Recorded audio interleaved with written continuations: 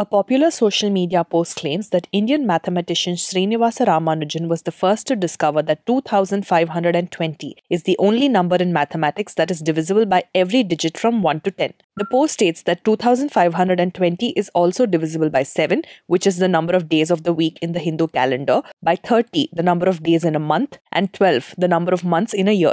A number that is divisible by each digit from 1 to 10 can be found through the least common multiple or LCM method, which was discovered well before Ramanujan's time. 2520 can be calculated as the smallest number that is divisible by all digits from 1 to 10 by the method of prime factors or using the LCM division method. To get an LCM number that is divisible by all the digits from 1 to 10, we first need to find the prime factors of each digit.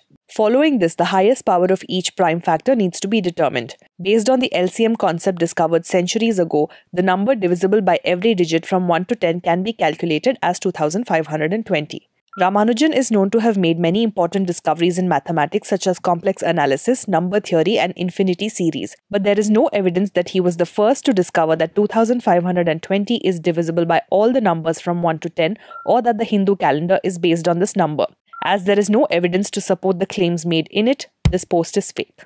Join our YouTube membership program and be a part of the journey of making public data meaningful. And remember, before you hit that forward button, pause.